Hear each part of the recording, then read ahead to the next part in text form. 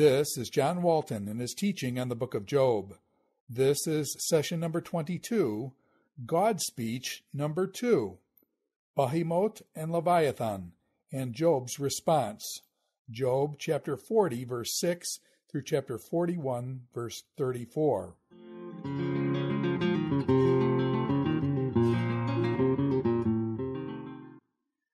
Now we finally get to Yahweh's second speech we're going to move beyond the ignorance of humans to actually get to the idea of how people are supposed to think.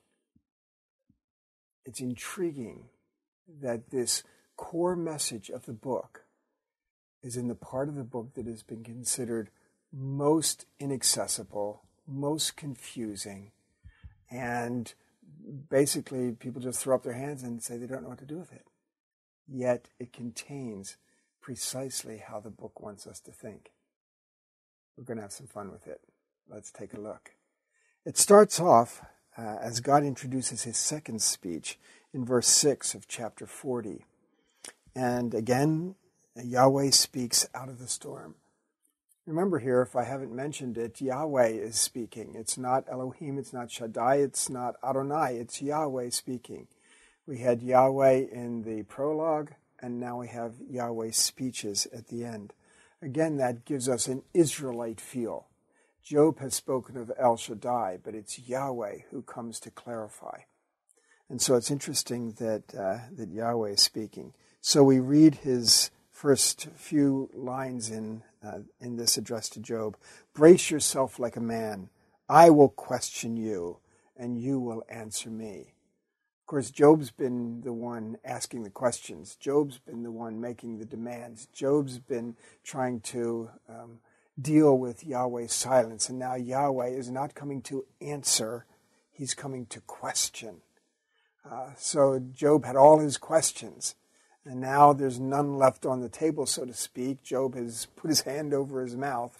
So he's done asking his questions. And now Yahweh is going to question him. Verse 8 is very important.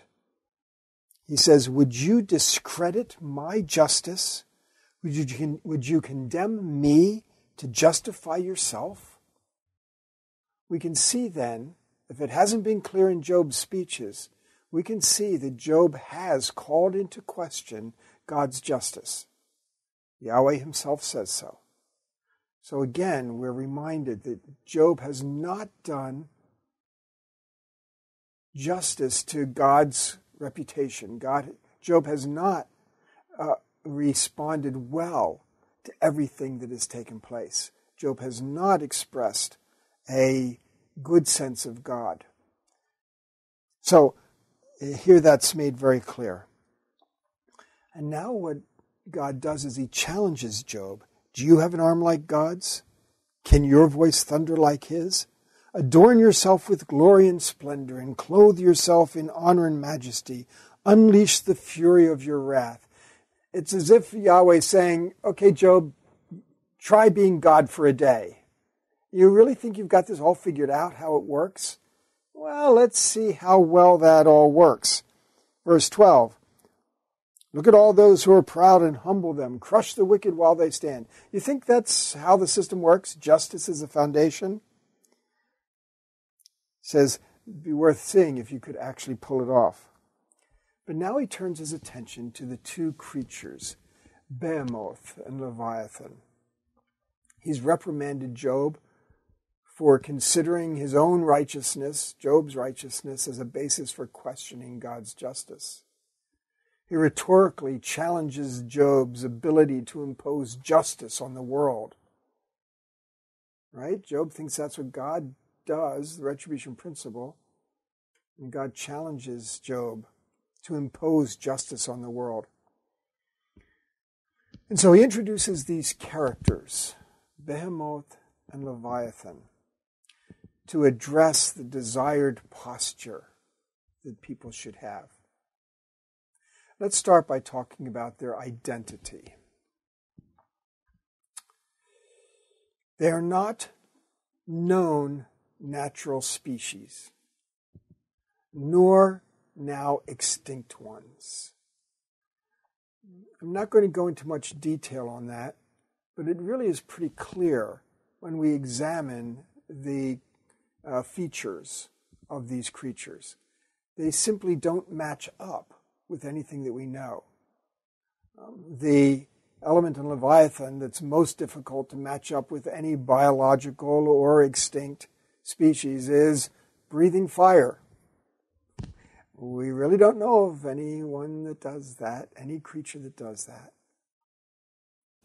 And so, in that sense, um, we have to look elsewhere. I would propose that they are chaos creatures. Chaos creatures is a well known category in the ancient Near East and very, very easily recognizable by the ancient audience. They know exactly about chaos creatures. And Leviathan is a known chaos creature, not only in the other places in the Hebrew Bible, but also in the Ugaritic texts. Chaos creatures are liminal creatures that exist on the periphery of the ordered world, almost like one foot in, one foot out. They are quintessential creatures whose abstract characteristics are shared by known animals. The idea that some people have seen some uh, semblance of hippopotamus in Behemoth, or some semblance of uh, crocodile in Leviathan, uh, only goes so far as to suggest that a hippopotamus or a crocodile would be sort of the, the spawn of Behemoth or Leviathan. Uh, their, their cohorts. And not that Behemoth actually is a hippopotamus or that Leviathan actually is a crocodile.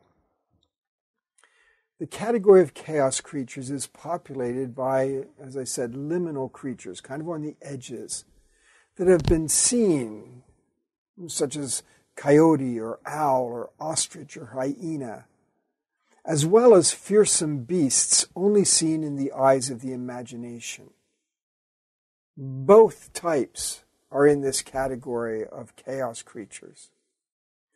The latter group, these fearsome beasts, is not strictly zoological. In fact, they are often composite creatures.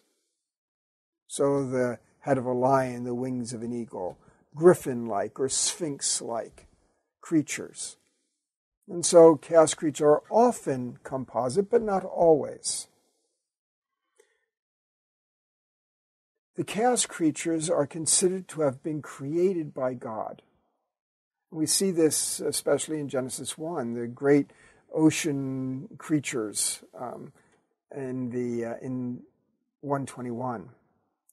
But they represent the potential for continuing non order like the thorns and thistles in the less ordered realm outside the garden. The thorns and thistles are evidence of non order, yet they are in a partially ordered world. When God talks about Leviathan in Psalm 104, he made Leviathan to sport with. And when the great seagoing creatures are referred to in Genesis 1:21, it's they're part of God's creation. In fact, Genesis comes back and uses the word bara, create, for the first time in Genesis 1 since verse 1 to specifically attach it to the sea monsters, just to make it clear that they are also part of the ordered system. So, in one sense, we could call them anti cosmos creatures. They kind of work against cosmos, um, but they're not strictly uh, in the realm of non order. They are part of the ordered world, but they serve as agents of non order by virtue of their mindless nature. Chaos creatures are not morally evil, but they can do serious harm because they just operate by instinct. So, in one sense, we could compare to how we might think of a tornado it's not morally evil, but it can do serious harm because it does what tornadoes do. Chaos creatures, then, are not enemies of God, but they can wreak havoc among humans. Just as the sea is in the realm of non order, yet it is controlled by God with its boundaries set. These creatures are not domesticated in any sense, yet they're under God's control. Behemoth uh, is actually the plural of the word cattle, uh, and it refers to the most potent land animal imaginable. It's sort of an abstraction of land animals. Leviathan would be the most potent sea creature imaginable. And so the text uses these two sort of um, characterizing chaos creatures. And again, hippopotami and crocodiles are certainly dangerous, and they may loosely be considered as the spawn or minions of chaos creatures such as these. Now, having said this, we should recognize that the identity of the creatures is not as important as recognizing their literary role as characters in the book. Uh, the ancient audience would have recognized Behemoth and Leviathan, they would have had identities connected to them. But regardless of that, Behemoth and Leviathan are being used by the author of the book as characters, literary characters that have a role and a purpose in the book. If we're going to understand the authoritative message of the book using these literary characters, we have to look beyond the controversies of identity to see how they are used. Chaos creatures have been referred to in the book on numerous occasions. So, reading through the book, we've already seen those. Job's lament in chapter 3 spoke of those who were ready to take on Leviathan in 3 8. Job's first response to Eliphaz, he asked why God was treating him as a chaos creature. That's in 712. There he uses the Hebrew word tanin, which is the same Hebrew word in Genesis 121.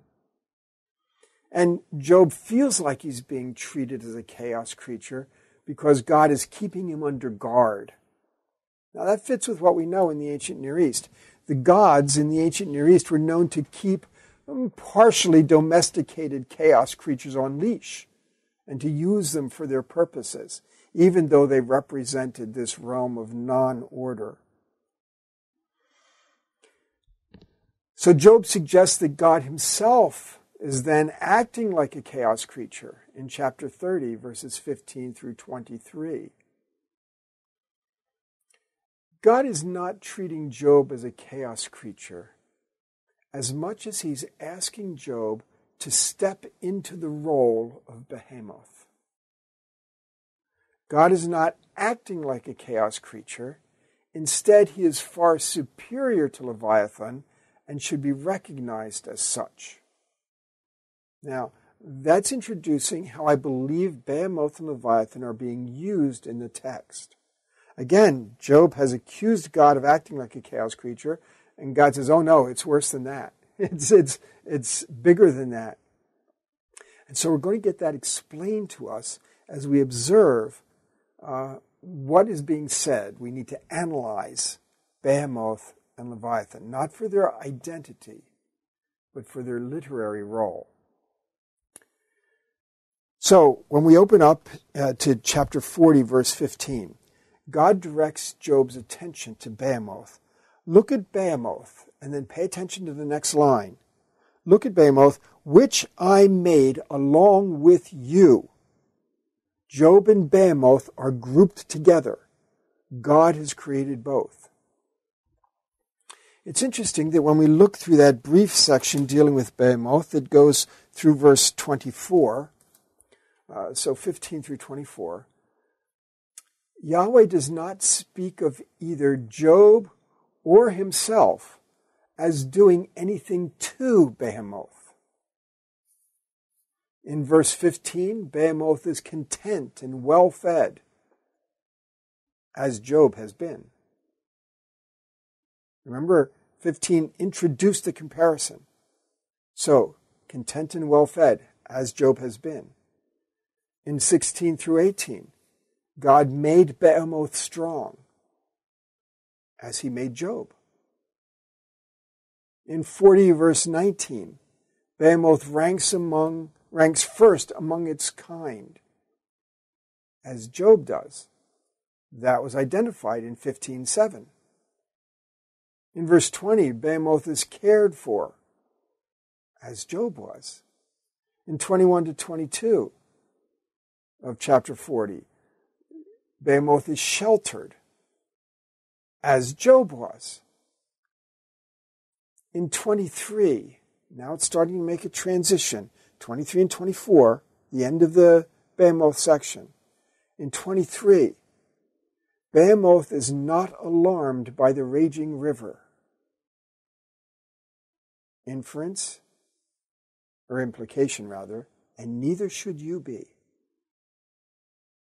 He trusts and is secure, as you should be. He cannot be captured or trapped, to which you should also be invulnerable and have shown yourself resistant. In verse 24, it talks about the that can anyone captured by the eyes or trap it and pierce its nose. The word for nose is the word for anger and it cannot be pierced. This is a difficult word in the text. It sometimes means named or designated, or sometimes penetrated. And so, again, here the idea is to which you should also be invulnerable. Behemoth is being compared to Job. That's introduced right in the first verse.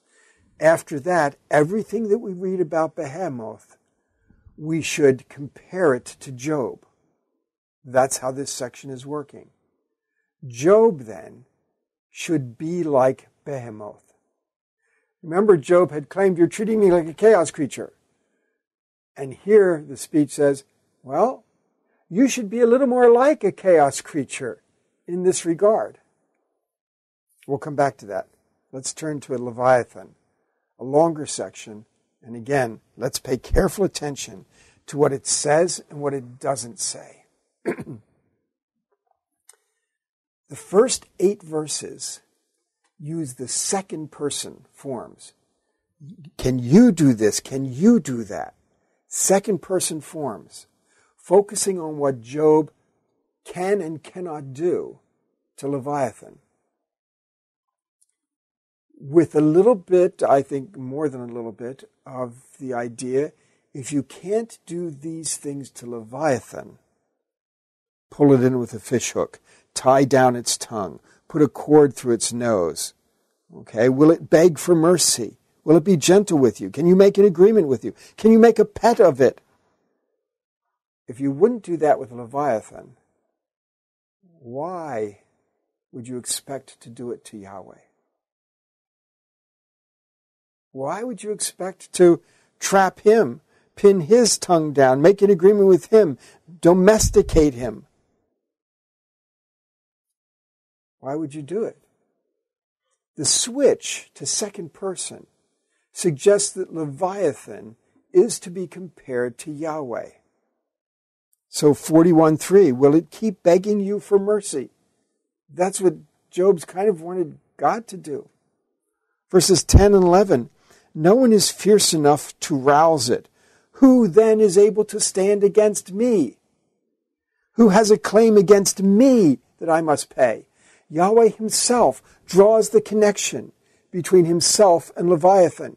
Not so much that he is like Leviathan, but that he is so much greater than Leviathan. And if you can't act toward Leviathan in this way, why in the world would you think that you can act toward Yahweh in this way? This section never talks about what God does to Leviathan. Yet so many interpreters have gone that direction.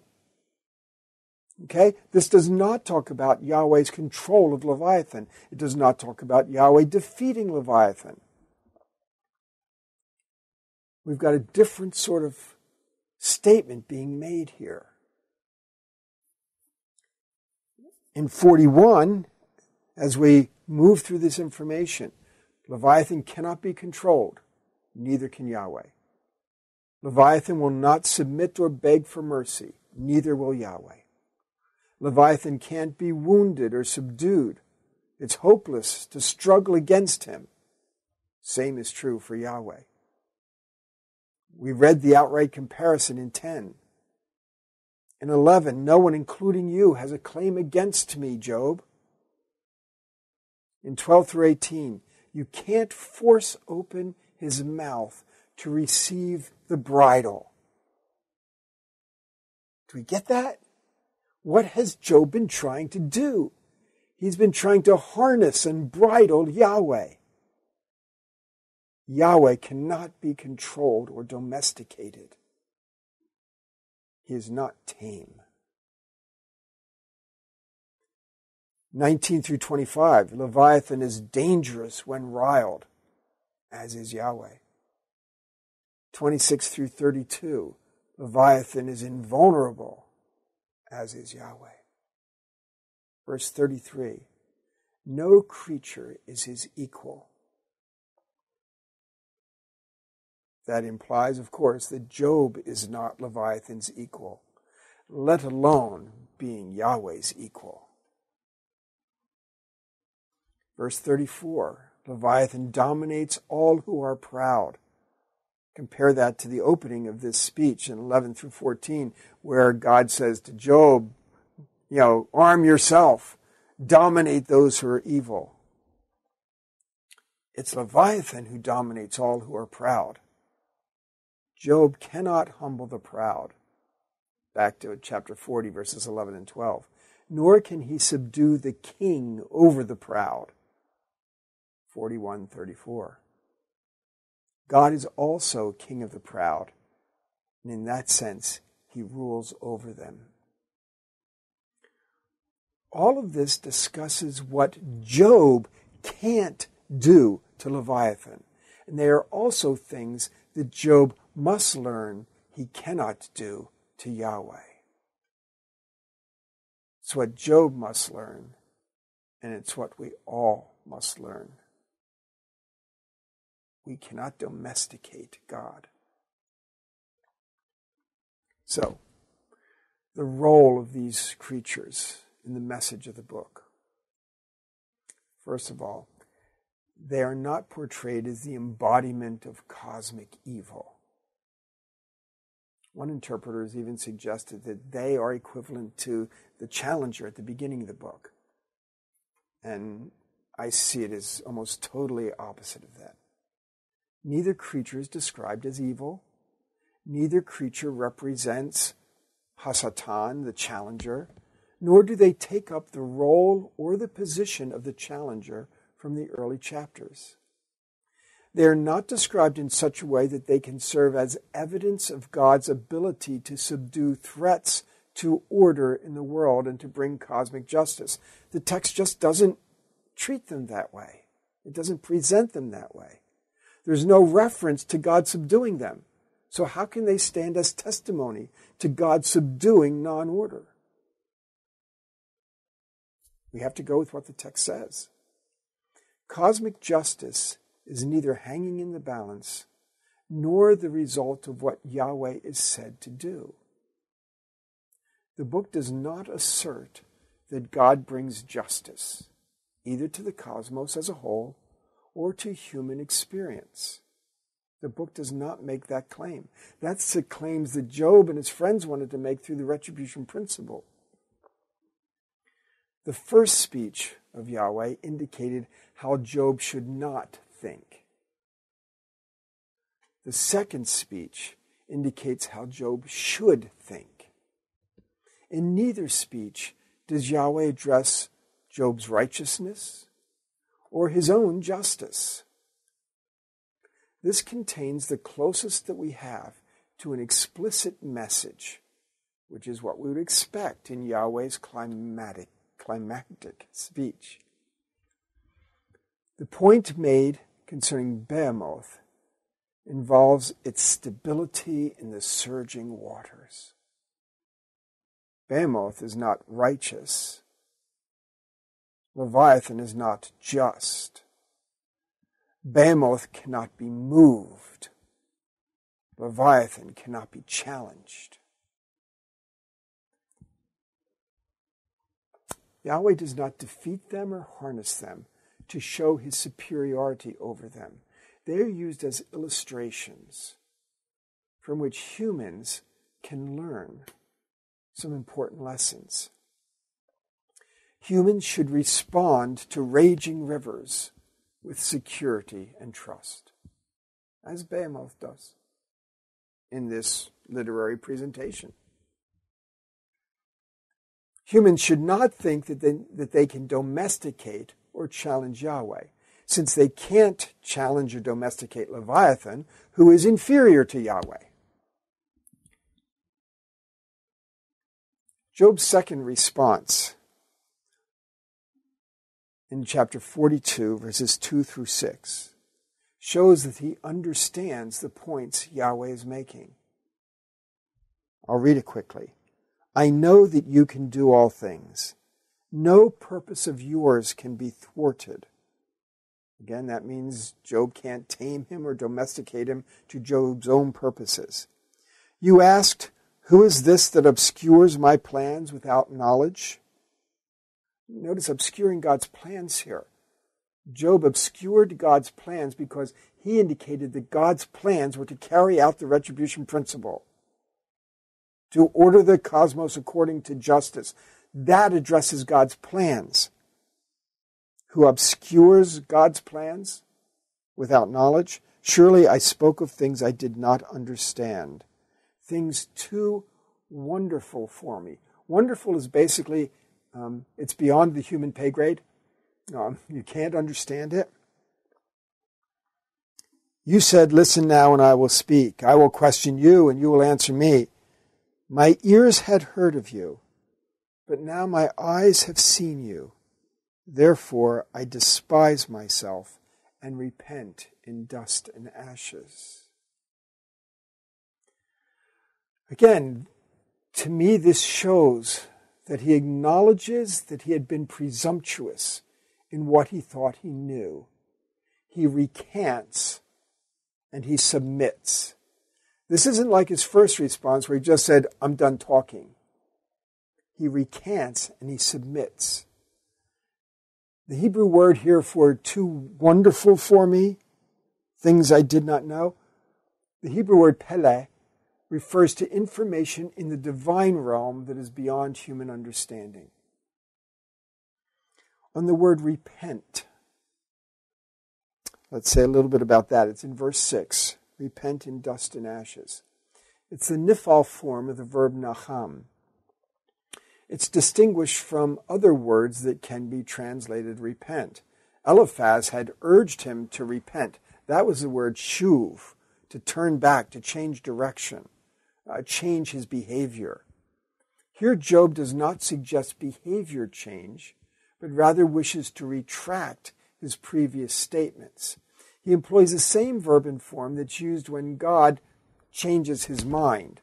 Places like Exodus 32:14, Jeremiah 4:28, Jeremiah 18:10, Joel 2:13, Jonah 3:10, all intriguing passages that unfortunately we can't spend the time addressing.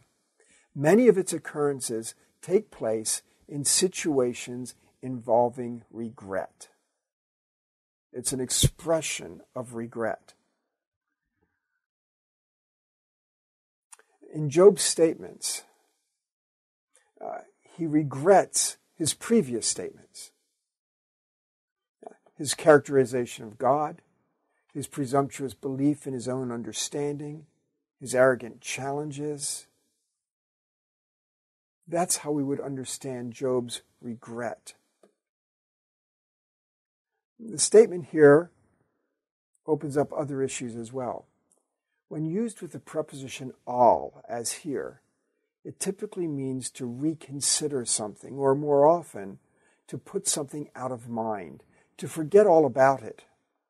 In this verse, we might suggest that that's something that he puts out of his mind is his dust and ashes. That's what it says.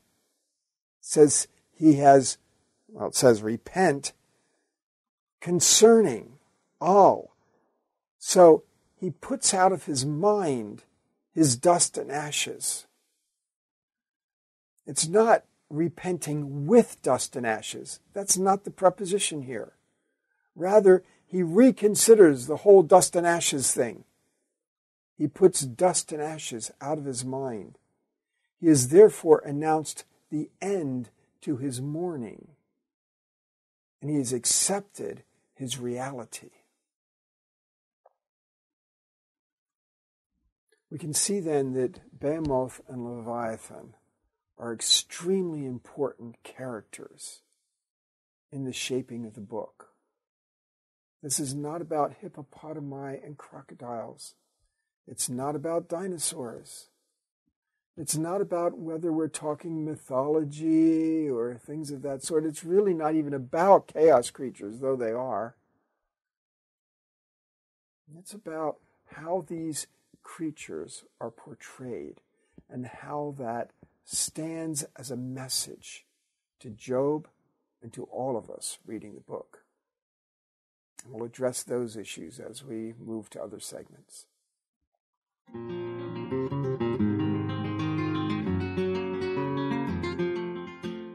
This is John Walton and his teaching on the book of Job. This is session number 22, God's speech number 2, Behemoth and Leviathan, and Job's response. Job chapter 40, verse 6 through chapter 41, verse 34.